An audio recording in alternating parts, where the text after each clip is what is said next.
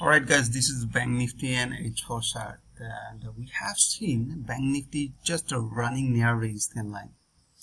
So this is a resistance line around 21,600. So here you can see 21,600. This is a strong resistance and if you not see uh, previous market behavior, price are rejecting from this level, rejecting from this level, rejecting from this level and right now exactly 150 exponential moving average are there. So here we have seen another range of this market now here you can see this is the range of this market now.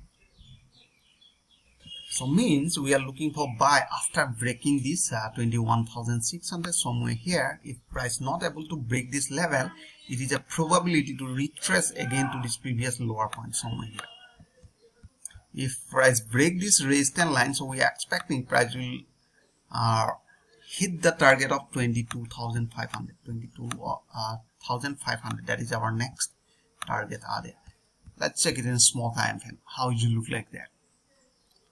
Okay okay. Uh, time frame let's check it. H1 all right let me remove this one. Okay.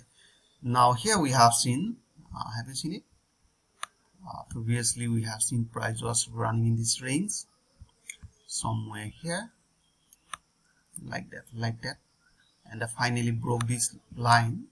And you can see price hit that level. Now we are looking for breakout this resistance line. So once they break this definitely we'll go for buy. All right if price not able to break this level we are expecting price will retrace to this level. All right so you can say to be a supporting line so I hope you enjoyed this video. If you like this video, please like and subscribe. Thanks for watching.